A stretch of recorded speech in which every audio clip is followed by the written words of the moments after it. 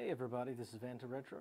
Let's get to it. First, you want to open up DaVinci Resolve, import the clip that you want to stabilize, trim the clip to only what is necessary to be in the clip. This will make the stabilization process easier. It also will make your color grading or whatever other effects you're trying to apply to the clip easier to do because the shorter the clip, less processing for the computer, which is important when you're shooting in raw footage. And this camera gyro stabilization will only work if you're shooting in B-RAW. So if you're shooting in any other format besides B-RAW, you're not going to have this option. To use the camera gyro stabilization for Blackmagic cameras, after you've imported your clip, trimmed it, go over to stabilization option under video options. And you want to go down to the last one, which is camera gyro. By default, it'll be set to perspective.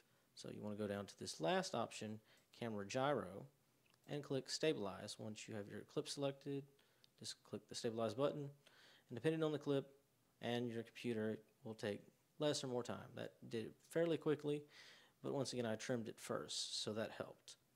It helps to shoot with a wider angle if you're planning to stabilize the shot in post.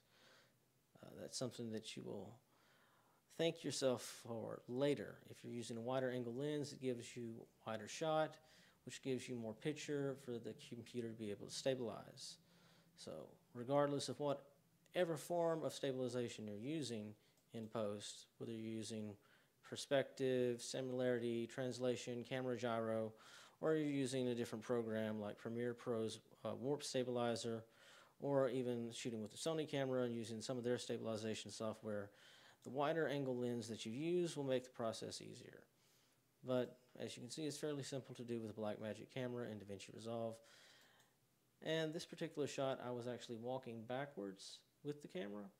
I was trying to do the ninja walk and keep it stable, and I used a wide angle lens, but I got a passable result here. Once again, it's an easy process.